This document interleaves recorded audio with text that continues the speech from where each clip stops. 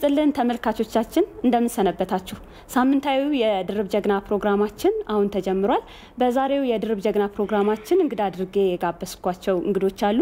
እነዚህ እንግዶች አለም ፀሐይ የጡት ካንሰር ፋውንዴሽን መስራቾች ናቸው። ወይዘሮ ፍሬዎት ደርሶ እና እንዲሁም ደግሞ ወይዘሮ ጸዳለ አልዩ ከወይዘሮ ፍሬዎት ጋር ድርጅቱ ሲመሰረት ጀምሮ አብረው እንቅስቃሴ ሲያደርጉ የነበሩ ናቸው።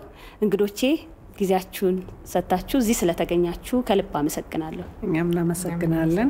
ስለ አለም ፀሐይ የጡት ካንሰር ፋውንዴሽን ወደ ድርጅቱ አመሰራረትና ስራ ከመግባቴ በፊት ወደ እናንተ ህይወት ላተኩርና ወይዘሮ ፍሬዎት እንግዲህ ከዚህ ቀደም ለብዙ ጊዜ ከልጅነቱ ጀምረው በውጭ ሀገር በአሜሪካን ሀገር እንደኖሩ አውቃለሁኝ። እንደው መቼ ነው የሄዱት? በስንት ዓመት እድሜ የሆነ የሄዱት? ትምህርቶንስ በምን ዙሪያ ነው የተከታተሉት? የተወለድኩት ጎንደር ነው፣ ግን አላደግኩበትም። think 14 ዓመት ይሆነኛል ከቤተሰብ የወጣሁት። ከዛ አንዳንድ ቦታ ነበሩ። ከአሜሪካ የገባሁት 16 ዓመት ምናምን ቢሆነኝ ነው። የስንተኛ ክፍል ተማሪ እያሉ ማለት ነው? ስምንተኛ ስምንተኛ think ሁለት ሳምንት ብቻ ነው የተማርኩት። መስከረም እንደገባን ነው የወጣሁት። እዛ high school ጨረስኩ። ኮሌጅ ገባው፣ graduate አደረግኩ፣ ትዳር መሰረትኩ። እንግዲህ እዛ ያጠናሁት nursing ነበር። ከዛ advance nursing አድርጌ በብዙ በካንሰርና በኤች አይቪ research ዙሪያ ብዙ ስራዎችን ሰርቻለሁ። አሁን almost ሰላሳ አመት ሊሆን ነው እንግዲህ በዚህ field ከሰራሁ በኤች አይቪ እና በካንሰር ዙሪያ ላይ በካንሰር ዙሪያ ነው። ትምህርቶትንም በዛ ነው በዛ ነው እንትን ያልኩት የጨረስኩት። አዎ። ወደ ወይዘሮ ጸዳለ ልምጣ። እንግዲህ እዚሁ ሀገር ውስጥ ነው የነበሩት፣ በቅርብ ነው ወደ ውጭ የሄዱት እና የእርሶስ ምን ይመስላል የነበሩት የልጅነት እና ያስተዳደግ ሁኔታ? እኔ የተወለድኩት አዲስ አበባ ነው፣ ግን ያደግኩት በልጅነት ጊዜ ነው። ወደ ደብረ ዘይት አባቴ በስራ ምክንያት ተቀይሮ ሲሄድ ያደግኩት ደብረ ዘይት ነው። የተማርኩትም ደብረ ዘይት ነው። ትዳር ያስኩትም ልጆች የወለድኩትም ደብረ ዘይት ነው እና ከዛ በፊት በደርግ ዘመነ መንግስት በሴቶች ዙሪያ በሴቶች ማህበር በሴቶች ጉዳይ በዛ ብዙ ተሳትፎ አድርጌ ያለሁኝ። ከዛ ጀግኖች አምባ ሰርቻለሁ። ጀግኖች አምባ እንደተመሰረተ ከጀግኖች አምባ በኋላ ደግሞ አስመራም ሄጄ ነበረ በሴቶች ጉዳይ በኩል። ከዛ ተመልሼ ኢትዮጵያ ቴሌቪዥን አንድ አስራ ሁለት አመት ገደማ ኢትዮጵያ ቴሌቪዥን ሰርቻለሁ። እዚሁ የኢትዮጵያ ቴሌቪዥን ባልደረባ በማስታወቂያ ሚኒስቴር ተቀጥሬ ከማስታወቂያ ሚኒስቴር ጠቅላላ አገልግሎት ውስጥ ነበር የምሰራው።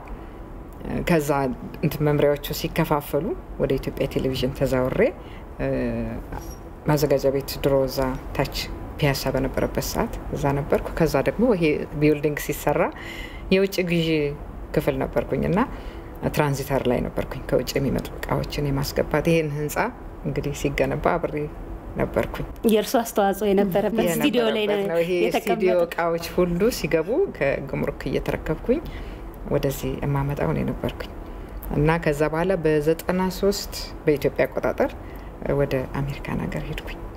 እና ከዛ በኋላ እንግዲህ ወደ ሀያ ዓመት ሊሆን ነው መሰለኝ አሁን ተመልሼ ስመጣ። በሴቶች እንቅስቃሴ ላይ ነበርኩ ብለውኛል። እና በወቅቱ የነበረው የሴቶች እንቅስቃሴ ሴቶች ላይ የምሰሩት ምን ነበር? ሴቶችን በተመለከተ በቀበሌ በሚደራጁበት ጊዜ በሴቶች ጉዳይ እስከ ክፍለ ሀገር ድረስ በሸዋ ክፍለ ሀገር አይሴማ በሸዋ ክፍለ ሀገር ኢሰፓ ውስጥ።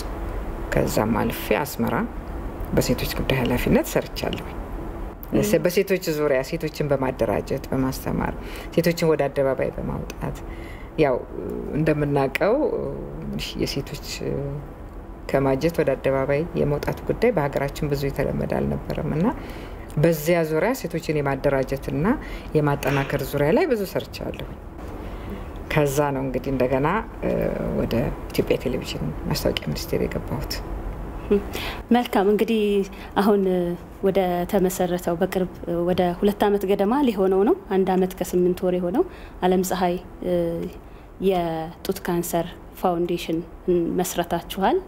ይሄንን ስራ ለመስራት ያው ቀደም ሲል ወይዘሮ ፍሬት የተማሩት ትምህርትም በጤና ላይ ስለሆነ ይሄ ነው አስተዋጽኦ ያደረገው ወይስ ሌላ ምክንያት አለው ለዚህ ድርጅት መመስረት? ድርጅቱ የተመሰረተው almost አስር አመቱ ነው።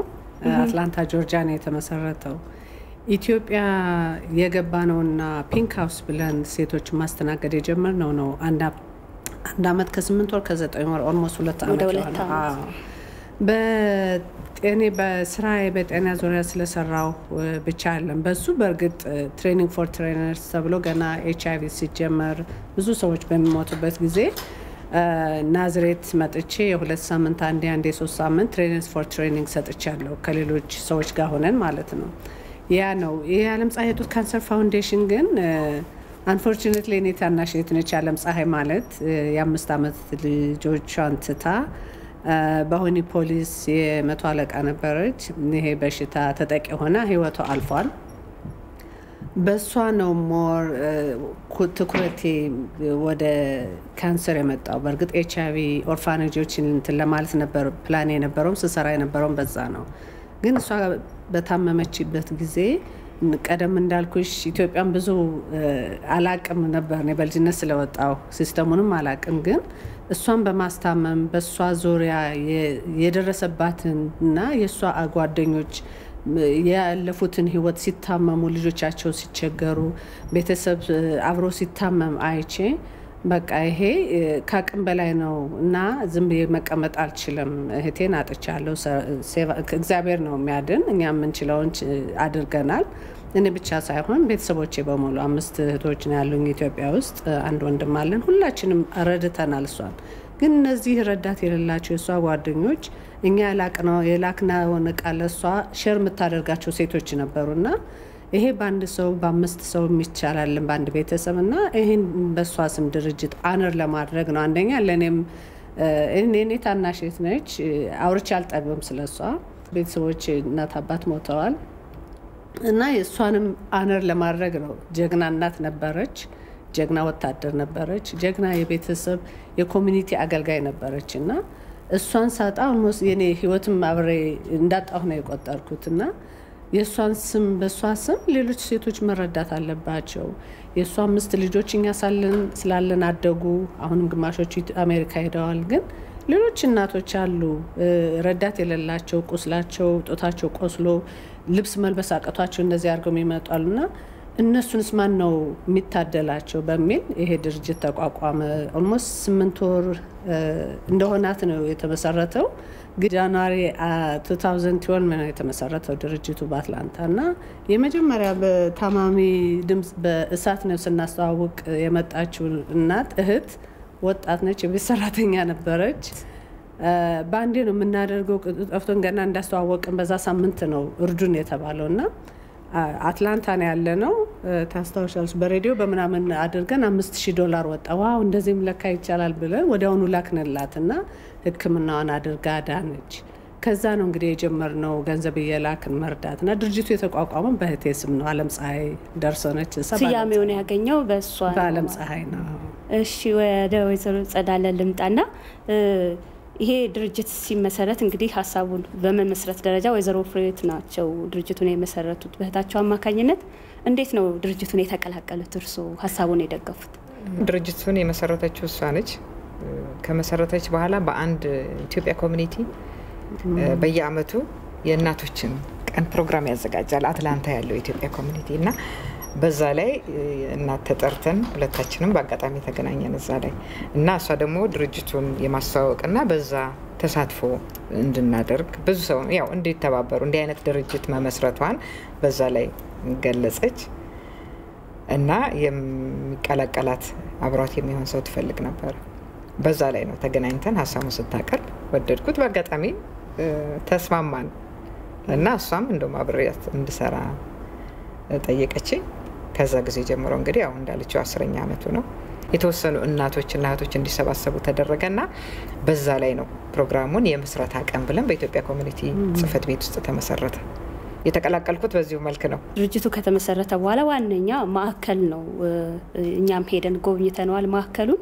እዛ የሚገኙ እናቶች አሉና ወደዛ የሚመጡ እናቶች በዋነኝነት ምን አይነት አገልግሎት ነው የሚያገኙት? የሚሰጠውስ እርዳታ ወይም ደግሞ ድጋፍ ምንድን ነው? በዚህ ድርጅት አዎ ይሄ ድርጅት ሲቋቋም መጀመሪያ contact ያደረግነው የጥቁር አንበሳ ነው። የጥቁር አንበሳም እንደምታውቂው ብዙ በሽተኞች ከተለያየ ክፍለ ሀገር መጥተው የሚታከሙበት ነው። so ምንድን ነው ያሉት እነሱ screen ያደርጉልናል። ከመጀመሪያው እንትን ለማለት ብዬ ነው ለይተው ያመጡልናል። ምን የሚለዩቸው criteria እኛም አውጥተናል፣ እነሱም አላቸው። ሰው የሌላቸው ከአዲስ አበባ ውጭ የሆኑ የጡት ካንሰር በሽተኞች መሆናቸውን እና ሰው የሌላቸው ገንዘብ የሌላቸው ሰዎች ናቸው። እነሱ በ social worker አማካኝነት ለእኛ ለነርስ አለን፣ ለእሷ ይደውላሉ። እሷም ሄዳ አውርታ ታመጣለች። transportation እንሰጣለን። ወደዛ የሚሄዱ በ transportation ነው። አንድ አስታማሚ ይፈቀድላቸዋል። በዛ ቆይታቸው በቀን ሶስት ጊዜ ምግብ ይመገባሉ። ትምህርት አላቸው አልፎ አልፎ እና የሹ ቲቪ አይተው አንዳንድ በዛ ዙሪያ discuss ያደርጋሉ። very much ከምግብ ከ transportation ሌላ emotional support ኡ ቁጭ ብለሽ ብትሰሚያቸው ምን ያህል እናቶች የሄዱበት ጉዞ አንዳንዶቹ አራሾች ናቸው እና እቃችን ሽጠን የመጣ ነው። ካንሰር አንዴ ታክመሽ ምትሄጂ አይደለም፣ ሶስት አራት ጊዜ ይመላለሳሉ እና በዛ ጊዜ ገንዘብ ያስፈልጋቸዋል። ያ ገንዘብ ያልቃል። ያኔ ነው የሚተኙበት አጥተው ሲያለቅሱ በረንዳ ላይ ጥቁር አንበሳ ጋድም ወንበር ላይ ተኝተው chemo ን የሚወስዱት ጨረሩን የሚወስዱት እና ከዛ ነው ወደኛ የሚያመጧቸው እና more ከምግብ transportation፣ ምኝታ፣ ንጹህ ቦታ መኖሩ ብቻ ሳይሆን እርስ በርስ ማወራታቸው ችግራቸውን መወያየታቸው ትልቅ እፎይታ ነው የሚሰጠን ይላሉ። service አችን ይሄ ነው። እንግዲህ ኢትዮጵያ ውስጥ ብቻ ሳይሆን በዓለም ደረጃ ሴቶች ከሚጠቁባቸው ከካንሰር አይነቶች የጡት ካንሰር በዓለም ሁለተኛው ነው። በሀገራችንም ከ60 ሺህ እስከ 70 ሺህ የሚሆኑ ሰዎች በካንሰር ይያዛሉ። ከዚህ ውስጥ ደግሞ 67 በመቶ የሚሆኑት ሴቶች ናቸው ይባላል። 34 በመቶ ደግሞ በጡት ካንሰር ነው የሚጠቁት እና ይህንን ስናይ የችግሩ አሳሳቢነት እጅግ የከፋ ነው እና የግንዛቤ ማስጨበጫ ያስፈልገዋል ከመሰረቱም እና የግንዛቤ ማስጨበጫውን ማስፋፊያውን ከአዲስ አበባም ወደ ክፍለ ሀገር በምን መልኩ ነው የምትሰሩት? እኛ በተለይ ሲመሰረት ራሱ በተለይ በአትላንታ ከተማ ይሄ foundation ሲመሰረት awareness ነው ግንዛቤ መስጠት ነው የነበረን እና ዘጠኙን አመት ሙሉ አሁን አስረኛው ይቀጥላል። ዘጠኙን አመት ሙሉ በአመት ሁለት ጊዜ ትልልቅ ኮንፈረንስ እናደርጋለን። ይህን የምናደርገው ደግሞ የተለያዩ የሕክምና ባለሙያዎችን በተለያዩ የካንሰር አይነቶች በጡት ካንሰር ብቻ አይደለም፣ በጡት ካንሰር፣ በ liver፣ በማህፀን ከዛም አልፈን ደግሞ mental health እሱሱን ሁሉ የተለያዩ ሕክምና በተለይም ኢትዮጵያዊ የሆኑትን የሕክምና ባለሙያዎች ከአትላንታ ብቻ አይደለም ከተለያየ state እየመጡ በዚህ ዙሪያ aware ያደርጋሉ፣ ግንዛቤ ይሰጣሉ። ድርጅቱ እንደውም ትልቅ እንዲያድግና በሰዎች በአትላንታ ባሉ ከአትላንታ ውጭም ባሉ ኢትዮጵያኖች ተቀባይነት ያገኘው በካንሰር ዙሪያ ግንዛቤ እንዲኖረው በማድረግ ነው። በተለያዩ ሰዎች ሊያውቁ የማይችሉትና ሊጠነቀቁ ቅድመ ካንሰርም ሆነ ከካንሰር በኋላ ድህረ ካንሰርም መደረግ ያለበትን በባለሙያዎች ግንዛቤ ስንሰጥ ቆይተናል። አሁን ቅድም ፍሬህይወት እንደገለጸችው ወደ ኢትዮጵያ ያስመጣን ትልቁ ነገር መጠለያ፣ ምግብ አጥተው ከክፍለ ሀገር መጥተው በድህነት ላይ ያሉ እህቶች፣ እናቶች መጠለያ በመስጠት ደረጃ ነው። እንግዲህ ከዚህ በኋላ አሁንም ያው በጎንደር ሌላ አዲስ pink house ለመክፈት already አልቋል፣ ቤቱም ተገኝቷል። አሁን ስራ ይጀምራል ብለን እናስባለን። ግን ግንዛቤ በመስጠት በኩል እቅዱ አለ፣ አላማው አለ።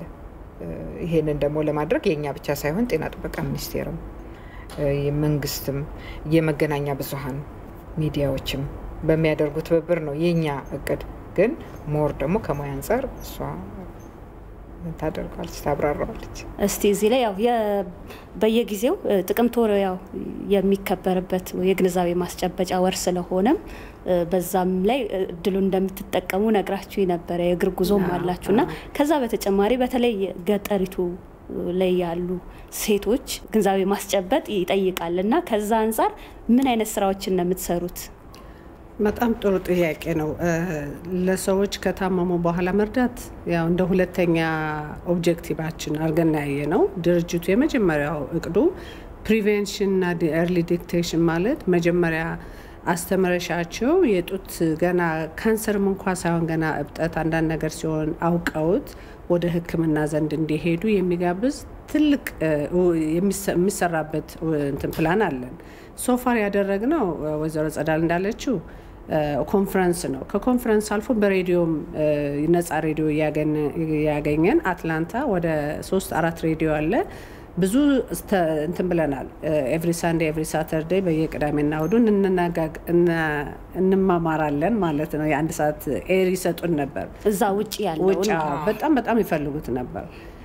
ውጭም እንደዚሁ ነው። ይገርምሻል። አሁን እኛ የገጠሮች እንላለን እንጂ እናንተም የከተማዎቹ ብዙ የምታውቁ አይመስለኝም። ከዛም አልፎ አሜሪካን እውነት አሜሪካ ስለኖሩ አይደለም ካላመመሽ እና ሰው ካልታመመብሽ ብዙ ሁለት ሶስት ስራ እየሰሩ ትፍትፍ የሚል ስለሆነ አያውቁትም እስከሚታመሙ ድረስ እና even በ conference በሬዲዮም ቢሰሙ ሲያማቸውንም ወር ደውለው consult የሚያደርጉት ይሄ የኛ የኢትዮጵያ ባህላችን ነው። ያን ባህላችን ነው አሁን መስበር ያለብን በአንድ ላይ ተባብረን። ወደ ኢትዮጵያ ሲመጣ ደግሞ በጣም የከፋ ነው እንዳልኩሽ እኔ ኢትዮጵያ ቀርቶ የገጠሯን የከተማ ኢትዮጵያ አላቅም። አሁን ግን በጣም I think አውቅ ያለው ብዬ ትንሽ ይሰማኛል። ለምን ገጠሩ አካባቢ ያሉ ሴቶችንም ስለማወራ እኛም ቤት እንዳየሻቸው የሚመጡት የገጠር ሰዎች ስለሆኑ የሚጠይቁሽ ጥያቄ እሺ አሁን ታከምን ስንመለስ ምን አይነት ምግብ ነው የምንበላ ይሉሻል። በጣም important ጥያቄ ነው። ካንሰር ደግሞ የተለያየ ምግብ ስትበይ more የሚብስብሽ ነገር አለ እንደ ስኳርና እንደ other በሽታ ማለት ነው። ያ ያን ሁሉ nutritionist ቀጥረን ለማሰራት ፕላን አለን። ግን በአሁኑ እስካሁን ያላደረግነው ያው በነርሶች ሲመጡ ሲሄዱ ያስተምራሉ። social worker ደግሞ አለች ኤልሳ፣ በዚህ አጋጣሚ ላመሰግናት የምፈልግ ጥቁር አንበሳ ያለች እሷም ስትመጣ እንደዚሁ ታስተምራለች። ግን ቋሚ የሆነ nutritionist ያስፈልገናል ሲሄዱ የሚማሩት እና የሚያስተምሩት ወደ ከተማቸው። የበሽታው ብቻ አይደለም። ካንሰርማ ገና አልተነካም። breast cancer አልተነካም ገና ኢትዮጵያ ውስጥ ገና አልተነካም ብዬ ነው የምለው። ከኔ ግንዛቤ አንዳንዶች ዶክተሮችንም ስንናገር በጣም ከመቸገራቸው የተነሳ ብታስተምሪያቸው የት ነው የምትልኪያቸው? ትክክል ነው። አይኔን የፈጠጠው የት ነው ምልካቸው? ጥቁር አንበሳ ነው? ጳውሎስ ነው? አንዲት ማሽን አለች ማሞግራ የምትደረግባት። እሷ ማሽን ስትሰበር ስትዘጋ በድፍረት ሄደው መታየት የሚችሉበት ቦታ እንኳ የላቸውም። ግን እኔ እኛ የምንችለውን ነው የምናደርገው። በትምህርቱ ላይ ነው focus የምናደርገው። በየክልሉ የእናቶችን ችግር ሊፈቱ የሚችሉ ማዕከላት ያስፈልጋሉ። ማዕከላት ያስፈልጋል። ማዕከልም ባይኖር በሬዲዮም እንኳ እንትን ያልሽ ማዕከሉም ሳይኖርሽ በሬዲዮ ግንዛቤ ትሰጫለሽ። የ town hall meeting የሚባል ይኖራል። እሱን ትፈጥሪያለሽ። ብዙ መንገዶች አሉ። church ን ቤተ ክርስቲያን ሄደው የሄዱትን ቆዩ ብለሽ ማስተማር በሌላ ጊዜ እንደዚህ ሰርተናል። በኤች አይቪ የተሰራው ስራ በጡትና በካንሰር ዙሪያ መሰራት አለበት ኢትዮጵያ ውስጥ። by the way የእኛ ቤት የጡት ብቻ አይደለም። ቅድም ያው በጡት ስለተባለ ነው ስያሜው በጡት ካንሰር ስለሆነ ነው። የማህፀንም interview ምንም እንኳ ስያሜው በጡት ቢሆንም okay ብለን አሁን ብዙ የካንሰር በሽተኞች የሚመጡት የማህፀን ካንሰር ነው እኛ ጋር ከጡት የበለጠ ማለት ነው። የጡቶቹ ግንዛቤ ስለሌላቸው አሁን ወደ ግንዛቤው የሚወስደው ዋናው key ይሄ ነው። ሲመጡ ቆሳስለው stage ኡ ተቀይሮ ከ stage two stage four ሆነው የመጨረሻው stage ደርሰው ሲመጡ surgery እንኳ ለማድረግ አይችሉም። የህመም ማስታገሻ ሰጥተው ነው የሚልኳቸው እና ያ እንዳይሆን ነው እኛ አሁን መከላከል ያለብን እና የ cervical ለዚህ ነው ብዙ መጥተው የሚተኙት የጡቶቹ ቤታቸው ተመለሱ ስለሚባል እና ጨረር ያለበት ቦታ ሁሉ pink house መኖር አለበት ብለን እናስባለን። ለምን አምስት ነው ከኢትዮጵያ የተመረጠው እና think አንደኛዋ መቀሌ ነች፣ አዋሳ ባልሳሳት think እንደዛ እያለ ይሄዳል። ጨረርና ኬሞ የሚሰጥበት ቦታ ማዕከል ለመክፈት ማዕከል እኛ ለመክፈት ፕላን አለን። አሁን ሁለተኛውን ጎንደር ሄደናል። ሰኞ ማክሰኞ ይጀምራል ብለን እናስባለን።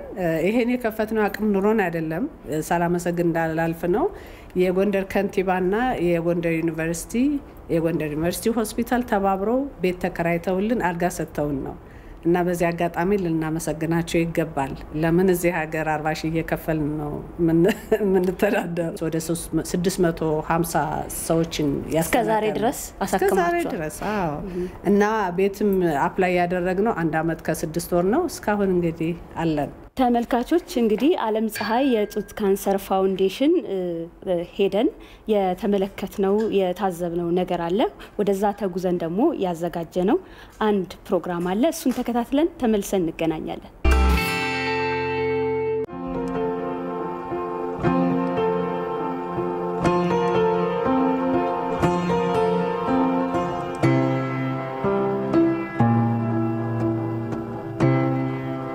ንጹህ እባላለሁ። የመጣው ተክፍለ ሀገር የመጣው ህዳር ሰባት ለክትትል ነው የመጣው። ለክትትል ስመጣ ይኸው ልብስ ማልያዝኩ ምንም ማልያዝኩ ደርሼ መድኃኒት ይዤ ነው እንደ ቀድሞ የመጣው። የስድስት ወር መድኃኒት ወስጄ ነበር። ያ ሲያልቅብኝ መጣው ህዳር ሰባት አሁን የአንሳ መርምረው ስፌቷ ላይ ተክቶብሻል፣ እንደገና ላሙና ትሰጫለሽ አሉኝ። ያን ላሙና ሰጥተው ያን ላሙና አዩ። አይ ወደ ደረትሽ ተክቷል፣ ይኸው እንደገና አዲስ ምርመራ ትገቢያለሽ አሉኝ። ይኸው አዲስ ምርመራ ገባው። ያ ተመርምሬ ስጨርስ አንቺ ወደ ኦፕራሴ ነው የምትሆኝ አሉኝ። የመጣሁም ተድንገት ነው። ምንም ማደሪያም የለኝ ምንም የለኝ። አለቅሳለሁ። በቃ ሳላስበው ነው። ቤተሰብም አላስከተልኩ እናትም የለ አባትም የለ ባለቤት ያለ ልጆቹ ትንንሽ ናቸው። እነሱን ይዟል። የመጣሁት ከወልቂጤ ነው። የካንሰር ህመምተኛ በሽተኛ ነኝ እና ያው በሰዓቱም ሲጀማምረኝ ጥቂት ነገር እንደቀላል አድርጎ ጀማምሮኝ ሳላቀው ሳላቀው በጣም ረጅም ጊዜ ፈጀብኝ። ሲፈጅብኝ በቃ እንደዚህ አይነት ነገር ደም መውረድ ደም መፍሰስ ሲሆን ኧረ እስቲ ይዛችሁኝ ጥቁር አንበሳ ሂዱ አልኩና ጥቁር አንበሳ ተነስቼ መጣሁ። ህዳር 17 ላይ ህዳር 17 ላይ እንደዚህ ምንም የለኝን ዘመድ የለኝ አስማድ የለኝ ማረፊያ ቦታ ብዬ ጠየቅኩ። በእውነት እድሜ በጣም እድሜ ይስጣቸው። መቃን ኪየገኖ ጎበናቲ ብይን ዱፌ ክፍለ ሀገር አርሲቲ ስሜ ገኑ ጎበና ይባላል። የመጣሁት ከአርሲ ክፍለ ሀገር ነው። የማፀን ካንሰር ታካሚ ነኝ። ከመጀመሪያው ጀምሮ የመጣሁትኝ ህዳር 26 ነው። እዚህ ከዚህ ድርጅት ውስጥ የመጣሁት ባለቤት የለኝም። በህይወት ባለቤት የሉም። ያለንበት አካባቢ ጎርፍ ስለነበረ ቤታችንን ሆነ ንብረታችን በጎርፍ ተወስዶብናል እና በጣም ችግር ላይ ነው ያለሁት። እዚህ ከመጣሁ በኋላ ግን ብዙ እንክብካቤ እየተደረገልኝ ይገኛለሁ። እየረዱኝም ነው ያሉት። እዚህ የስራ ድርሻዬ ታካሚዎችን ከጥቁር አንበሳ እንዲሁም ደግሞ ከአምስተኛ ወይም ከ cancer center ማረፊያ ያጡትን እንዲሁም ደግሞ ከክፍለ ሀገር የሚመጡትን ማረፊያችን በማሳየት እንዲሁም አድራሻችንን በመስጠት ግድ ቀጠሯቸው የተራዘመ ማለት በጣም ረዥም ያልሆነ ግን ሀገራቸው ሄዶ መምጣት የማይችሉበት አጋጣሚ ያላቸውን ሰዎች ከሁለቱ ቦታ እዤ እመጣለሁኝ። መጥቼ እዚህ ያለውን ነገር ነግሬያቸው ሊደረግላቸው የሚገባውን ነገር ሁሉ ነው የሚደረግላቸው ነገር ማለት ነው። ሌላው ደግሞ ሆስፒታል ባለው ሁኔታ ቀጠሯቸው በጣም ሊራዘምባቸው ይችላል። ከቀጠሯቸው በፊት ደግሞ ሊታመሙ ይችላሉ። ቀጠሯቸው ሳምንት ተብለው ዛሬ ሊያማቸው ይችላል። ያኔ ደግሞ ሕክምና እርዳታ እንዲያገኙ ወደ ጥቁር አንበሳ እንዲሄዱ አደርጋለሁኝ። እዛም ያለውን ነገር ደግሞ ከአንዳንድ ሐኪሞች ጋር እንዲሁም ደግሞ social worker ኦች ጋር በመነጋገር እርዳታ እንዲያገኙ እሱን እተባበራለሁ፣ እሱን እሰራለሁኝ። እንግዲህ ተተሰራሁ አራት አመቴ ነው። ኬሞ ተወሰድኩ አሁን ይኸው ሶስት አመቴ ነው። ተዛይዤ ክትትል ነው በቃ ዘመድ ላይ የዘመድ ፊት እንደ እንትን እየጠመረረኝ ግን እነዛ ዘመዶች ደግሞ የኮረና ጊዜ እንዲሁም አገራቸው ገቡ። ምንም ማረፊያ የማስበውም የለኝም ነበር። ፈጣሪ ይዛ መጣና አኖረኝ። እኔ በጣም እኔ እንክብካቤ ያደረጉልኝ በጣም ድርጅት ማዕከል መረጃ እስኪሰጠኝ ድረስ ጥቅሙን እስከጀምር ድረስ ለምኜ ነው ከወንድሞቼ ከእህቶቼ አንዳንድ ብለም ስንቄን ያቺን ሰባት ወሯን ክትትል ሁሉን ሳረግ ስራጅ፣ ሽንት፣ ደም፣ ጣፊያ፣ ኩላሊቴ ሁሉም ራይ ሳረግ አንዳንድ ብለምኜ ነው። አሁን እጄ ታጥቤ እግሬ ታጥቤ ልብሴ ታጥቦ ግቢው ተጠርጎልን በእንክብካቤ ሰዓት ሳትደርስ ስንቃችን እህላችን ተሰጥቶን በየሰዓቱን የዚህ ስላለው ሳይሆን ለአላህ ነው። የሁላችሁም እንጀራ ከፍ አለ ያድርገው። siin qabu ilma tokkicha bichaa qaba አንድ ልጅ ነው ያለኝ። እሱም እዚህ ለማስታመም እዚህ ከኔ ጋር ነበረ እዚህ ሲያስታመመኝ ነበር የቆየው። ግን ያው በጣም አሁን ቆንጆ ቦታ ስላለሁኝ ገንዘብም ስላለቀ እሱ ወደ ወደ መጣንበት ሀገር ተመልሷል። አሁን እበላለው፣ እጠጣለው። በጣም እጨነቅ ነበር። አሁን ግን ጭንቀቴን ቀሎልኛል። ብዙ ጊዜ አሁን ከክፍለ ሀገር ማለትም ከገጠር ነው የሚመጡት እና ስለ ካንሰሩ ብቻ ሳይሆን ብዙ መማር ያለባቸው ነገር አለ ብዬ አስባለሁኝ። ሲጠየቁም ልጆቻቸውን በስንት ዓመት እንደሚድሯቸው ምናምን ሲናገሩ በጣም በትንሽ እድሜ ማለት ነው። እሱ ግንዛቤ የላቸውም። እሱን እሱን ራሱ በየክፍለ ሀገሩ የጤና ኤክስቴንሽንም ሆነ ሌሎች የጤናዎች ባለሙያዎች እየሄዱ ቢያስተምሯቸው ከዚህም ጠዋት በዚህን ሰዓት ይምጣልን ስንል ታክሲው ባሰብነው ሰዓት ታክሲ ይዞልን ይመጣል። እዛ ደግሞ ስንሄድ ተከትለው ሄደው ይተባበሩናል። ወይ ውጤት ሳይደርስልን ተከትለ ሄዳ ልጅቷ ትተባበረናለች። በቃ አሁን እዚህ ተመጠው ወዲህ እንቢያን ጠርጌ ልቅሶ የሁሉ አቋርጦ ምንም ችግር የለ። ያላቸው እንክብካቤ ያላቸው አመጋገብ እኛ ራሳችን ከቦርሳችን ብር አጥተን እንኳን ሰዓት ይሄድብናል።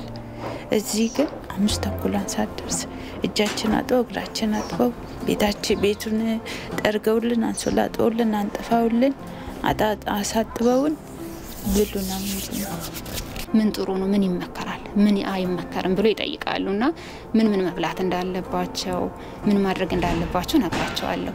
ንጽህናቸውንም በተመለከተ ማለት ነው። አሁን ውጭ ሲወጡ እንዳልሽ ኮሮና አለ፣ ማስካቸው መጠቀም እንዳለባቸው ሲወጡ ግቢ ውስጥ የሚጠቀሙበት ጫማና ውጭ የሚጠቀሙት ጫማ የተለያየ ነው። ሌላው ደግሞ እራሳቸውን አንዳንዴ ያጨናንቃሉ። ምክንያቱም ልጆች ያላቸው አሉ ቤተሰብ ልጄን ጥዬ ወይም ደግሞ ልጅ እዚህም ይዞ ከመጡ ልጄን አንገላታውት በቃ በእኔ ህመሜ ልጅ የተሰቃየብኝ አይነት ስሜት ይሰማቸዋል። እና እንዳትጨነቁ እንዳይጨናነቁ እየተቀላለድን ነው አብረን እናቶቼ ናቸው። ልጅ አሉ ገና የወደታች ያለች አሁን ስምንት አመቷ ነው። አራት ልጆች አሉኝ። እነዛም በቃ አሁን ታሳብ አላገባቸውም። ስለ በሽታ ያን ማስብ እንዲህ ያለ ስፍራ እያለ እንዴት አድርጎ መሞት አለበት? ስንቶች ሞተዋል። ስንቶች እኛ ሀገር አገሩ ሩቅ ስለሆነ እንደገና ደግሞ ገበሬ ስለሆነ ምንም አያውቅም። ግን እኔ እንዲሁ ፈጣሪ ነው አምጥቶ እዚህ የጣለኝ። እኔ አሁን እውነቴ ነው ራሴ ሲያመኝ እዚህ ራሱ ውዬ ቶሎ ብላችሁ ውሰዱኝ ነው እና ጊዜያችሁ አታባክኑ። ለሚያማችሁ በሽታ ሁሉም መድኃኒት አለው። ቶሎ በሰውነታችን ሳይሰራጭ ቶሎ ብሎ በሰውነታችን ሳይኬድ ቶሎ ባጭሩ የምንገላገልበት መድኃኒት ሕክምና አለ። መንግስት በየክልሉ እንኳን በየክልሉ አንዳንድ እንደዚህ የካንሰር ሴንተር ቢኖር ለእነሱም አንደኛ ወጪያቸውን ይቀንስላቸዋል። ድካም አለ፣ ልፋት አለ። ሲመጡ በጣም መንቀሳቀስ የማይችሉ ከሆነ ሶስት አራት ሰው ይዞ ነው የሚመጡ።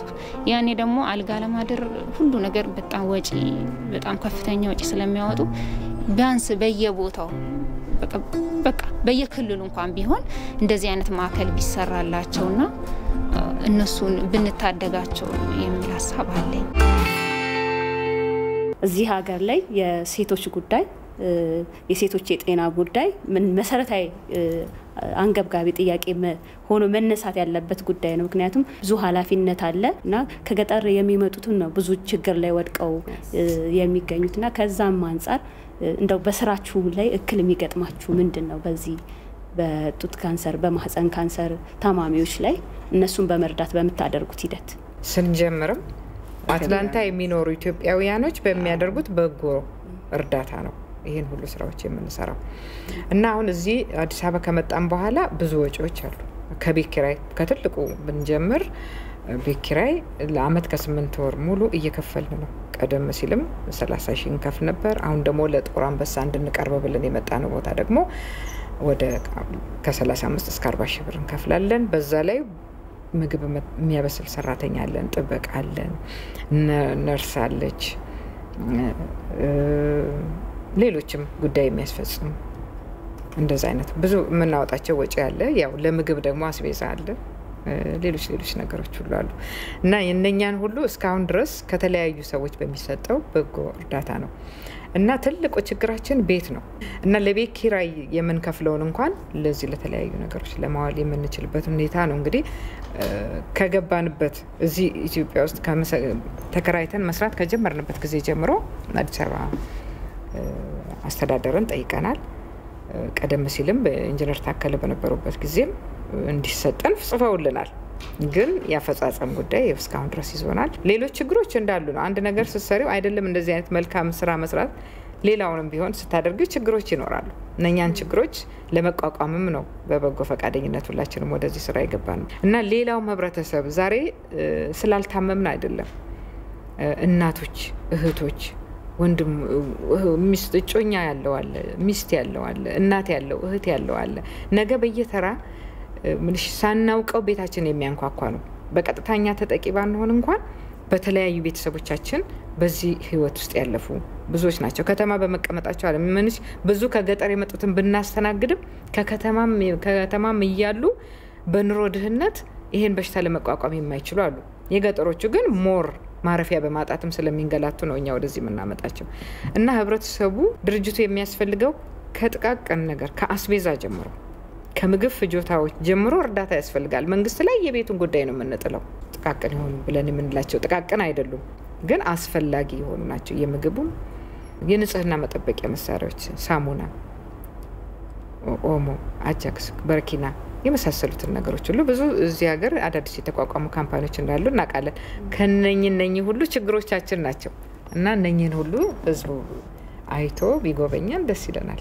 የእግር ጉዞ ላይ በደንብ እንዲታወቅ ስለተደረገ ከዛ በኋላ ነው ሰዎች መምጣትም የጀመሩት እና እኛን ማየት የጀመሩት። እና የሊሴ ልጆች እና እንዲሁም የሊሴ የድሮ ተማሪዎች ኢትዮጵያ ያሉት ብቻ ሳይሆን international በተለያየ አገር ያሉ በጣም ድርጅቱን እንደ ትልቅ እንትን ግባት አይተው ጥሩ ነው ብለው እየረዱ ነው ያሉት። ረድተዋል። ወደ አንድ ሚሊዮን ብር ነው ያወጡት።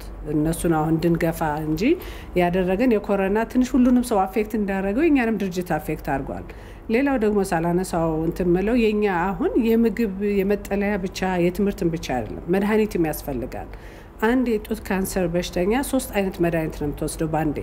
አንደኛው መድኃኒት ብቻ ከሶስት ሺህ እስከ አራት ሺህ የሚያወጣ ነው እና እነዚህ አርሶ አደሮች ከመቀነት አውጥቶ ያን ሲባሉ አቅም ከአንድ round ከአንድ ትምህርት treatment በኋላ ተመልሶ የማይመጡበት ይህን ገንዘብ ስለማያገኙ ነው እና በዚህ ይሄንም የተገነዘቡ አትጠገብ ተስፋ የምትባል አሜሪካ ያለች ልጅ በቃ ይሄን ድርጅት እስከ መጨረሻ መርዳት አለብኝ ብላ አሁን የ300 ሺህ ዶላር የሚያወጣ የጡት ካንሰር መድኃኒት አስፈቅዳልን።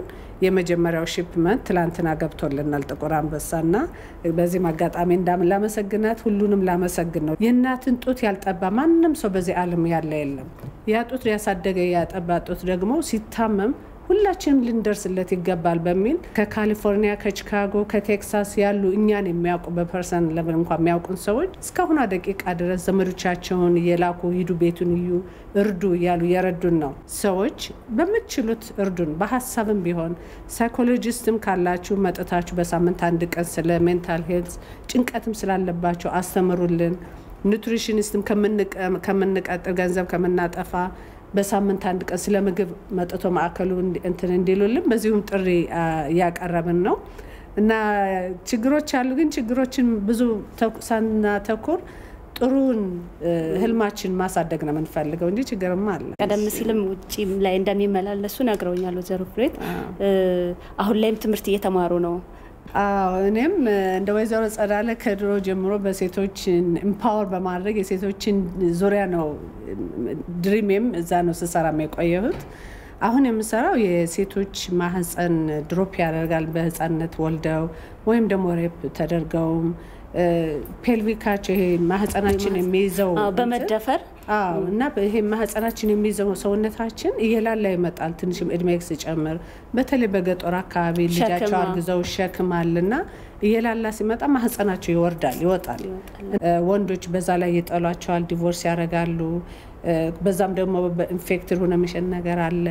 walk ም አድርገው ሲሄዱ drop ስለሚያደርግ ያ ሁሉ ፍርሃት ስላለ የሚወዱትን ቤተ ክርስቲያን እንኳ አይሄዱም። ቤታቸው ነው ለሰባት ለዘጠኝ ዓመት ቤታቸው ይቀመጣሉ። በዚህ ዙሪያ ብዙም አልተሰራም እና አንድ የማህፀን ዶክተር ነው እኔ እንደ ጎንደር ለጥምቀት ሄጄ የመጀመሪያ ጊዜ ጥምቀት ለማየት ነው two years ago እኔ በ breast ነበር ስጽፍ የነበረው ለምን ይሄን አታደርጊም? ይሄ እኮ ብዙ ያልተሰራበት ነው ሲል ሄጅም ጥቁር አንበሳ ማን ነው ጎንደር ሆስፒታል ሳይ ልቤ ወደ እነሱ ሄደ። በቃ እንባ ነው የመጣና እስኪ አንዲት ነገር እንኳ ብችል መናገር ብችል ለእነሱ እንኳ ድምፅ በሆን ሌላም ለውጥ ባላመጣ ብዬ በዛ እየጻፍኩ ነው። አንድ ሁለት ሴሚስተር ይቀረኛል graduate ለማድረግ።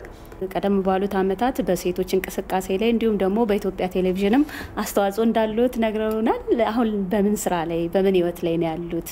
በአጠቃላይ ለመኖር ወደ ኢትዮጵያ መጥቻለሁ።